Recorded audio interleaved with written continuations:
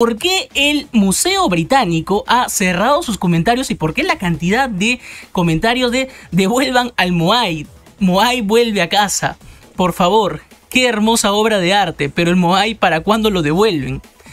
El Moai es conocido, eh, tiene el nombre realmente como Hoa Hakananai es una eh, escultura de que tiene más de 2000 años, mide cerca, mide un poco más de 2 metros y pesa 4 toneladas y principalmente se encuentra en la isla de Pascua, en Chile. ¿Qué pasa con esto?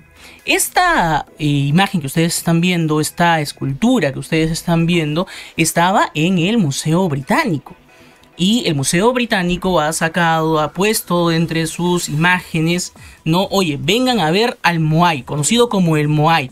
Entonces ellos dijeron, oye, ¿saben qué? Vengan a verlo y han puesto la imagen dentro de sus redes sociales, evidentemente, ¿no? Como para poder llamar a que la gente vaya, como turismo, ¿no? Pero no han contado, no contaron con que los seguidores chilenos, con que todo el pueblo chileno, como si se tratara de una causa común, de una causa, evidentemente es una causa nacional, porque una de las esculturas más representativas de las Islas de Pascua está en un museo británico desde hace muchísimo tiempo, básicamente desde los desde 1869 que fue llevado desde las Islas de Pascua hasta eh, Reino Unido. Reino Unido luego la las autoridades de la realeza se lo regalaron al Museo Británico, se lo donaron al Museo Británico para que pues haya más eh, llegada de turistas, pero no contaron con que la gente estaría pidiendo a través de las redes sociales, oye, por favor, devuelvan el Moai, devuelvan, ¿qué creen ustedes? ¿Cómo creen que ha sido acertada la reacción de los del pueblo chileno para pedir que por favor devuelvan una escultura que le pertenece a su identidad. Recordemos esto porque básicamente nosotros también los peruanos hemos pedido a nuestras autoridades que hagan respetar y que nos traigan las eh, cerámicas y todo lo que es parte de nuestra cultura que ha sido encontrada en Machu Picchu y que ha sido encontrada y ha sido llevada al extranjero y como una causa común hemos pedido que por favor lo traigan.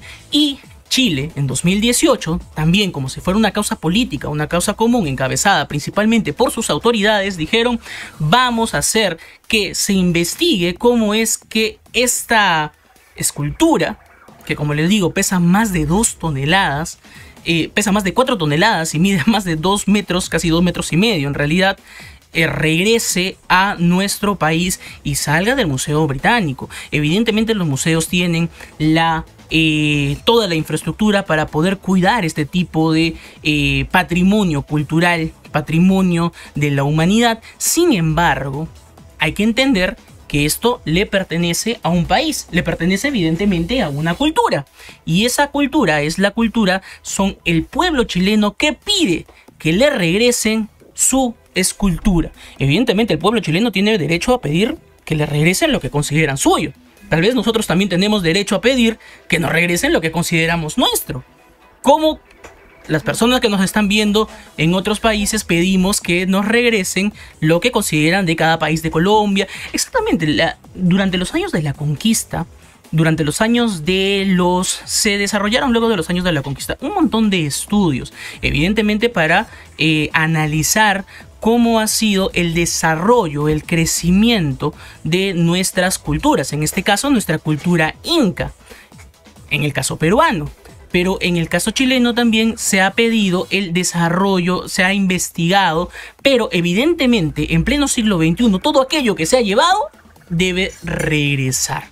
Todo aquello que se ha ido para otros lados no tiene por qué, digamos, representar el usufructo no económico, evidentemente, para otro estado que no sea el estado al cual le pertenece por antonomasia, le pertenece por patrimonio. Es como si parte de nuestro patrimonio, es como si parte de nuestro Machu Picchu estuviera en otro lado, porque entendamos que las Islas de Pascua son una de las eh, maravillas que tiene Chile para ofrecer y que evidentemente representa el orgullo de nuestros hermanos chilenos. Es por eso la indignación, es por eso que muchos de ellos decían devuelvan el Moai. Esto ha servido para que evidentemente las autoridades cierren los comentarios de Instagram, pero ojo, acá hay un pequeño detalle. Han cerrado los el anuncio de esta última eh, de, este último evento, ¿no? Donde presentaban al Moai. Pero no han cerrado las fotos antiguas que tienen del Moai anteriormente. Y la gente ha ido a las fotos antiguas y ha seguido comentando. Y esta revolución de las personas podría terminar como que colapsando el sistema, los comentarios, ¿no? Y eso podría causar un devenir incómodo para las autoridades, por lo que se debería hacer y lo que ya está iniciada una investigación para que se devuelva, como hemos dicho desde hace mucho tiempo, se devuelva el patrimonio de los hermanos chilenos, en este caso de la isla de Pascua. No, nosotros leemos sus comentarios. Queremos saber qué es lo que ustedes opinan o cómo es que ustedes hubieran reaccionado si es que los eh, las, cerámicas, las esculturas, serían nuestras. ¿No? ¿Qué hubiera pasado? ¿Cómo reaccionaríamos nosotros si sacan algo de nuestra casa? Imagínate, ¿no? O sea, Raiza dice, no, yo por las cosas de mi casa yo mato. Evidentemente, yo me imagino que la gente está pidiendo, ¿no? Que por favor devuelvan el Moai. Vamos a ver de repente qué es lo que puede pasar más adelante con otras esculturas, con otras obras de arte que, como digo, representan parte de la identidad de la identidad y del patrimonio cultural de un pueblo, de una nación, en este caso la nación chilena. Y nosotros también como peruanos tenemos muchísima cultura, muchísima tradición que debe estar siendo velada, como por ejemplo lo que hemos visto, ¿se acuerdan ustedes con las momias que han estado en México, ¿no? Y que nos pertenecen al Perú y que han aparecido de una manera ilegal y han estado en México siendo presentadas como extraterrestres, que también representa pues una falta, una burla a nuestra eh, identidad, a nuestra eh, a nuestro patrimonio, porque evidentemente estos serán pues eh, momias que han sido descubiertas, pero como momias, y que han sido estudiadas como momias, y que han sido estudiadas como la mezcla de huesos, pero que digamos se les saque toda connotación y luego se las lleven a México para ser presentados como extraterrestres y se pide una investigación más a fondo de un tema que nuestro país ha tenido una investigación tan amplia, ha generado cierta polémica en no solamente las redes sociales, sino también dentro de la comunidad científica que sostiene que cosas como esa deben ser tratadas con el rigor que se merece, con el rigor que necesita. En este caso también con el rigor, el rigor cultural ¿no? y de patrimonio que requiere unas cerámicas como estas, ¿no? unos eh, unos, unos bustos como estos, ¿no? Lo que se encuentran en las Islas de Pascua. Eso es lo que nosotros tenemos que eh, decir en torno a las... Podemos ver algunos comentarios que eh, me han llamado mucho la atención, por ejemplo, en este caso, ¿no? O sea, decía, devuelvan al Moai. ¿Qué le dice un Moai a otro Moai? Moai vuelve a casa. Devuelvan al Moai.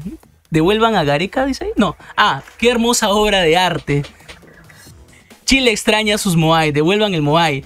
Devuelvan el Moai Paquepo. Se metieron con el país equivocado. Se metieron con el país equivocado. Evidentemente, ya fuera de eh, comentarios de broma, en realidad esto representa el sentir de los chilenos y las chilenas que eh, necesitan que parte de su patrimonio vuelva porque necesitan tener la responsabilidad y la certeza y la confianza de que sus autoridades, en este caso en el gobierno que ya tiene desde el 2018 una investigación abierta, esté llevando a través del Ministerio de Cultura las eh, actuaciones correspondientes que se requieran para traer de vuelta su patrimonio a tierra chilena, como podría pasar con nosotros cuando tenemos nuestros patrimonios en juego. Eso fue todo lo que nosotros podemos decir sobre el Moai. Les